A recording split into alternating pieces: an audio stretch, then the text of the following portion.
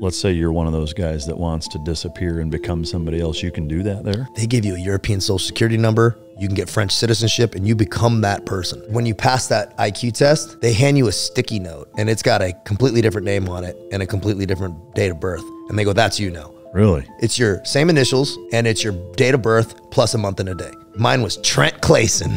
No sh- I got hooked up on the name, man. Some guys like want to ditch their whole old life. They just want to restart. I would say what the Legion's very strict on. You're coming in on a sexual crime, absolutely no go. And they don't want international arms trafficking issues or drug. They don't want that Interpol deal. But Interpol has come to the gate at Foreign Legion. So have they come there and be like, give us this dude? And yeah. They, and they turn him over? they They've protected guys before. Really? Yeah, they told the Interpol to f off. Wow.